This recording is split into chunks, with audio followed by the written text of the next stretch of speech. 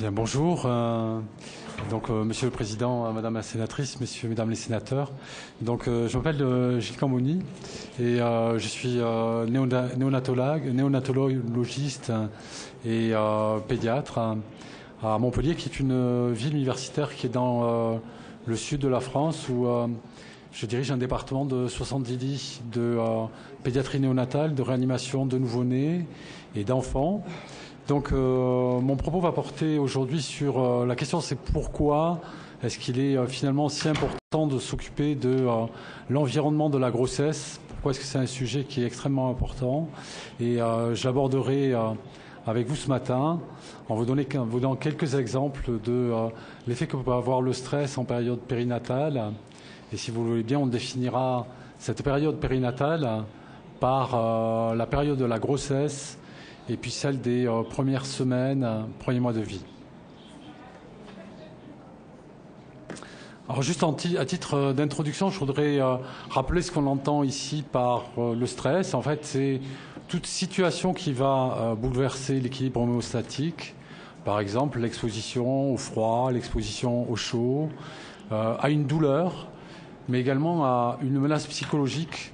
Ça, ça représente des exemples qui sont très classiques.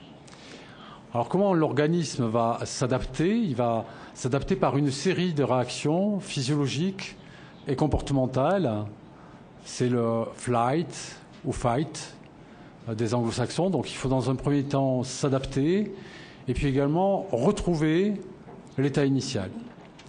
En termes de terminologie, on distingue la situation qui est le stresseur et puis la réaction de l'organisme, à proprement parler, qui est la réaction de stress. Somme toute, en médecine périnatale, le stress n'est pas un concept qui est euh, complètement, complètement récent, puisque euh, on peut retrouver dans ce domaine euh, des études et même des revues de la littérature assez intéressantes depuis trois à cinq décennies. Les je ne sais pas, c'est disparu l'image. Voilà. Merci. Les approches cliniques, donc il y a trois grandes approches cliniques qui ont été faites sur ce sujet. Euh, comment est-ce que des environnements périnataux au cours de la grossesse, notamment exceptionnels, peuvent favoriser l'émergence de euh, psychopathologie Comment est-ce qu'un environnement euh, périnatal contraignant peut influencer le développement de l'enfant? Et puis, grand, un autre grand thème, c'est celui de la relation entre le stress périnatal et la prématurité le premier élément, c'est des euh, études épidémiologiques qui ont été faites hein, euh, au cours d'événements majeurs, notamment comme des guerres. Ici, c'est une illustration du début de la Deuxième Guerre mondiale. Et on a vu que ce type de euh, situation pouvait entraîner une augmentation, par exemple, du, risque de schizophrénie chez les enfants des, des femmes qui étaient alors enceintes au moment de ces événements majeurs. on a pu même avoir des euh, études qui ont fait des liens spatio-temporels extrêmement précis entre, par exemple, on connaît l'effet qu'a eu la famine, une famine extrêmement sévère qui a sévi dans la partie occidentale de la Hollande au cours de l'hiver 44-45. Et puis donc deux décennies plus tard, dans la progéniture euh, des femmes qui étaient enceintes, on a eu un pic très important de schizophrénie qui est apparu. Alors, bien entendu, c'est euh, cette vulnérabilité à des troubles psychopathologiques, ça correspond à des événements euh, extrêmement majeurs. Donc, on a parlé des guerres, également, on l'a observé au cours d'attentats, au cours d'inondations, au cours de tremblements de terre, au cours de tempêtes, au cours d'ouragans, au cours d'accidents nucléaires.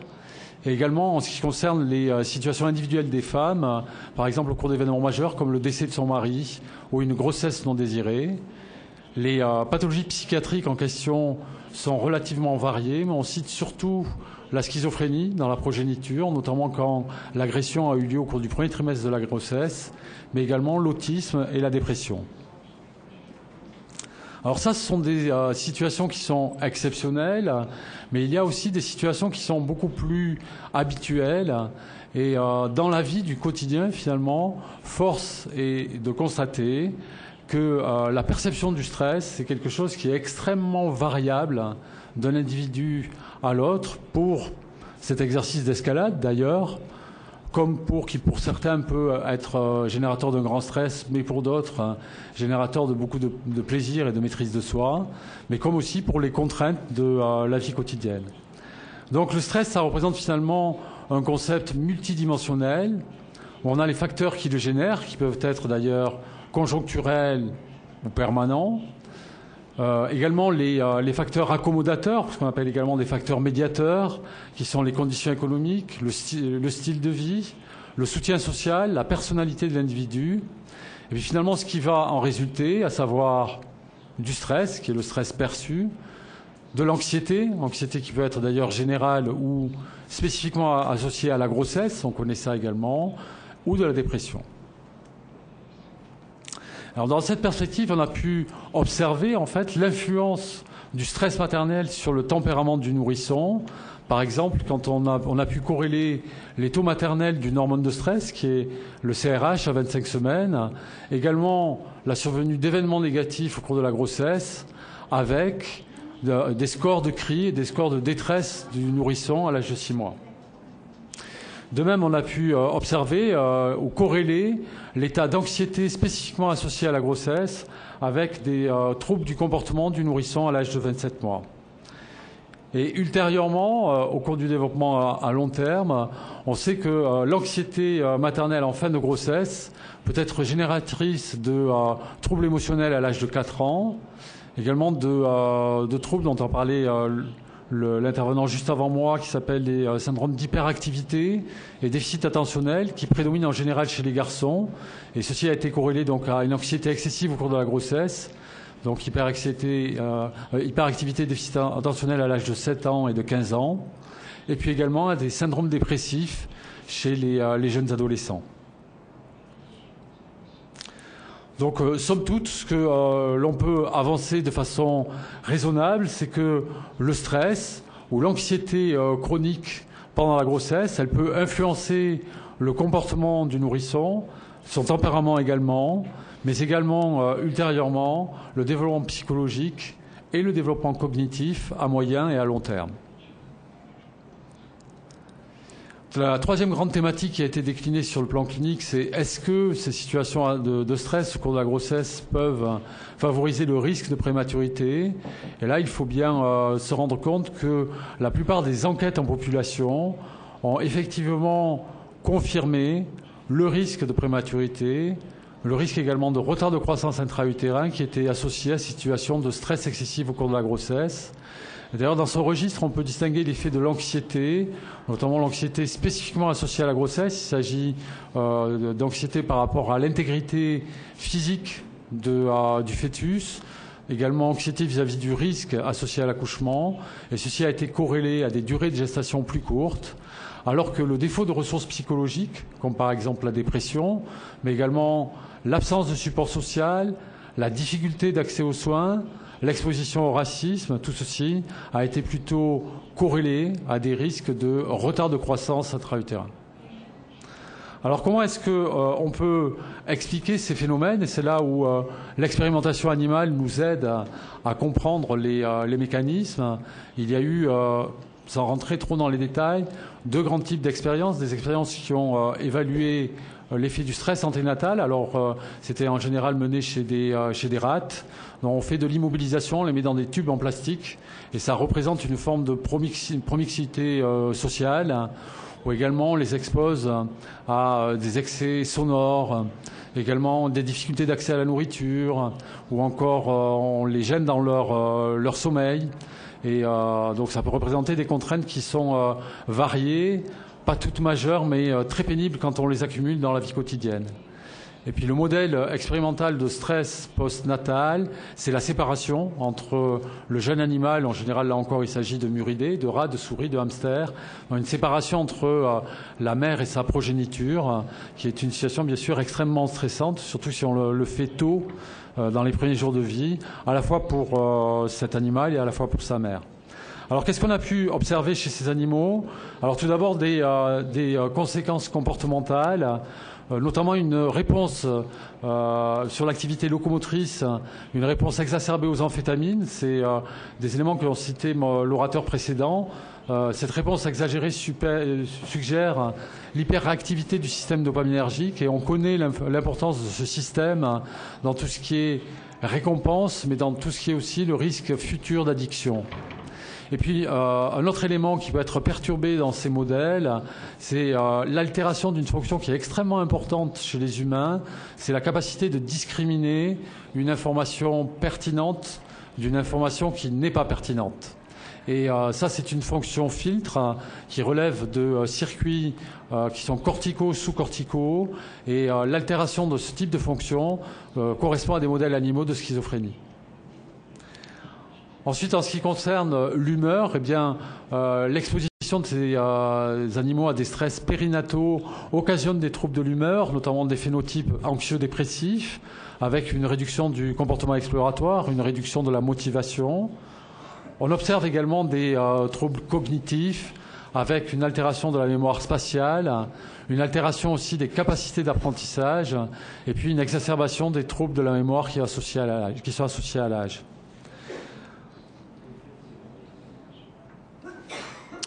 Les conséquences euh, moléculaires. là, c'est sur le plan phénoménologique. Je vous ai décrit un petit peu ce que l'on pouvait observer chez les animaux et comment est-ce qu'on les explique sur le plan des mécanismes chimiques, si vous voulez.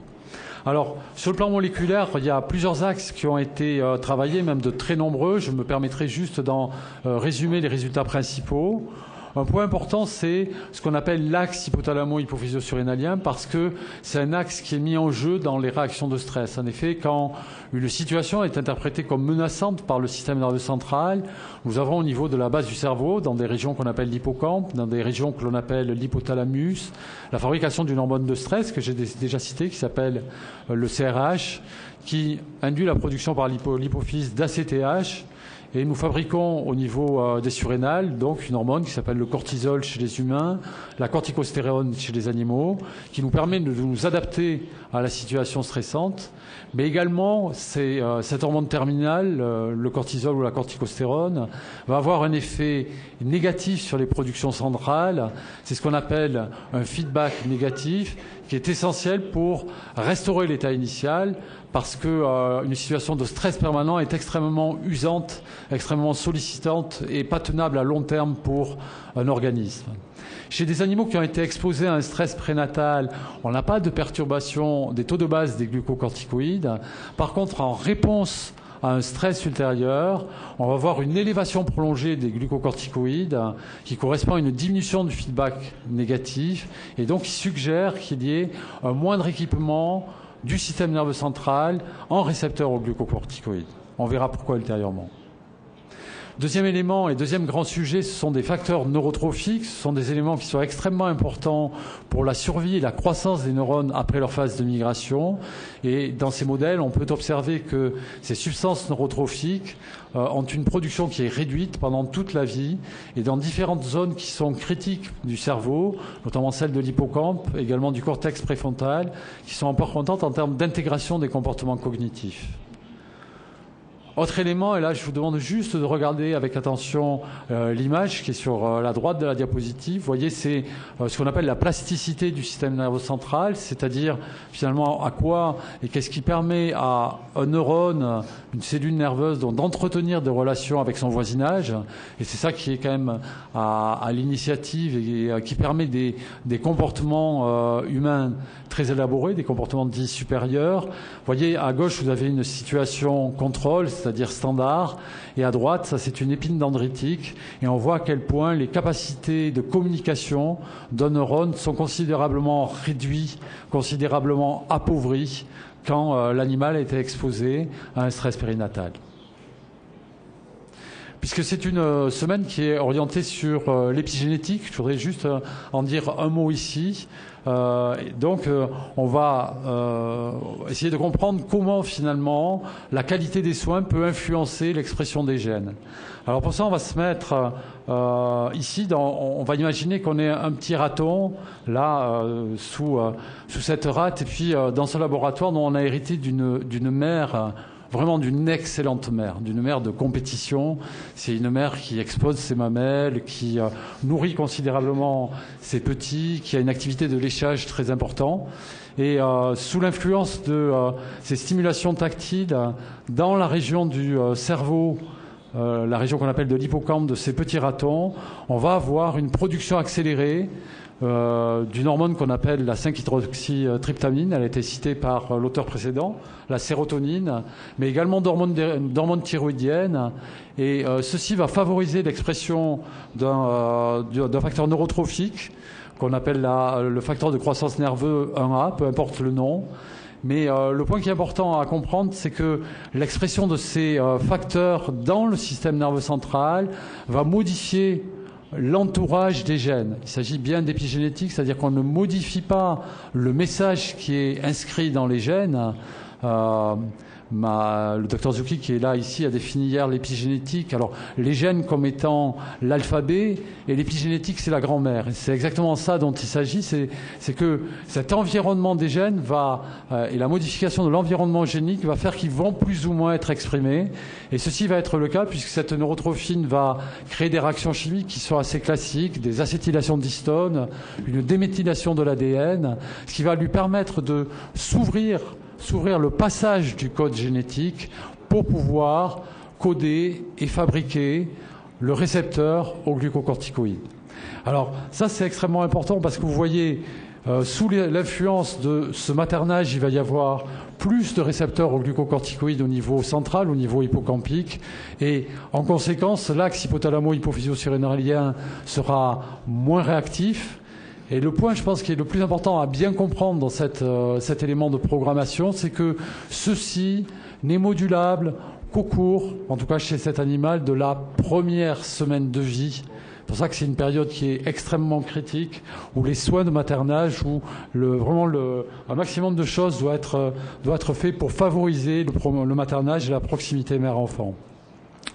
Voyez que des exemples comme ça, j'en ai donné un pour euh, le récepteur au glucocorticoïde, mais en fait, c'est plus de 900 gènes qui sont influencés par la qualité du maternage. Il s'agit de gènes qui euh, ont une influence sur le métabolisme énergétique, sur la traduction du signal dans les cellules, sur la synthèse, le trafic, le recyclage des protéines, et également des, euh, des gènes qui sont impliqués dans l'architecture des synapses, c'est-à-dire réellement comment est-ce qu'on arrive à sculpter, à, élaborer, à fabriquer le système nerveux central chez un individu dès les premières semaines, dès les premiers mois de la vie. Alors sur le plan euh, transgénérationnel, parce que l'aspect épigénétique c'est aussi une transmission euh, entre les générations, eh bien on sait qu'il y a des, euh, modèles de, de, dépression par séparation postnatale, des modèles également de prématurité par stress anténatal, qui peuvent se répliquer de génération en génération, alors que le stresseur lui-même n'a pas été reproduit. On ne sait pas comment, mais on est inquiet par ce phénomène-là de la possibilité d'une réplication transgénérationnelle qui implique peut-être des anomalies de méthylation au niveau des cellules germinales ou l'implication de euh, ce qu'on appelle les micro-RNA.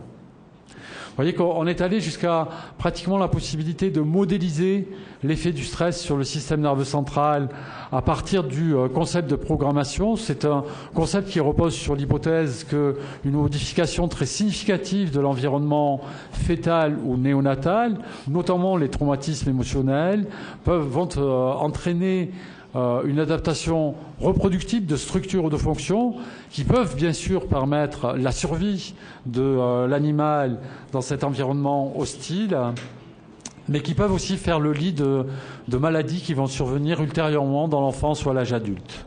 Vous voyez qu'au cours de cet exposé, donc, euh, on a pu voir que des traumatismes émotionnels très importants au cours du premier trimestre, mais également des traumatismes ou des difficultés de vie plus continuent tout le long de la grossesse, peuvent entraîner des adaptations de structure et de fonction. Je vous ai montré des modifications sur l'axe corticotrope, sur la fabrication de neurotrophiques, sur le processus de potentialisation long terme également, qui est celui de l'apprentissage et de la mémorisation. Ceci a été montré. On a vu qu'il y allait avoir des modifications sur des récepteurs, sur des dendrites, sur la fabrication de neurones. Et tout ceci peut être donc dans les situations que je vous ai décrites, à l'origine de pathologies dans l'enfance ou de l'âge adulte, qui sont des pathologies de l'humeur, qui sont des pathologies de type anxieuse, qui peuvent être également des troubles de la cognition, des troubles de l'apprentissage et des troubles du comportement. J'en viens maintenant à, mon conclusion. Donc, euh, euh, j'espère vous avoir euh, convaincu et que votre fonction filtre a bien fonctionné entre des messages qui sont pertinents et ceux qui ne le sont pas que euh, le stress peut perturber le développement normal de l'enfant. Il peut aussi aggraver les risques neurologiques associés à la prématurité. Il peut également conditionner une vulnérabilité aux troubles psychopathologiques. Donc, en ce qui euh, nous concerne, donc euh, il me semble que les stratégies de soins en périnatalité, en tout cas en néonatologie, puisque moi je m'occupe d'un département de néonatologie, donc ces stratégies de soins doivent promouvoir au maximum la stabilité de l'enfant, et lutter notamment contre les distimulations que l'on peut produire notamment dans les services de néonatologie, et également de favoriser la proximité physique et émotionnelle de la diade mère-enfant, c'est-à-dire en d'autres termes le bien-être psychologique de la mère, la construction du lien mère-enfant, et on sait que ces éléments sont extrêmement favorables pour la construction et le développement du système nerveux central. Merci.